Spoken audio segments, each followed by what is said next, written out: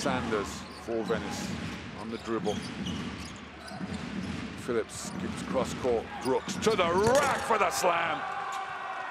Jeff Brooks giving an easy penetration to the lane. And he makes no mistake there by throwing it down with authority.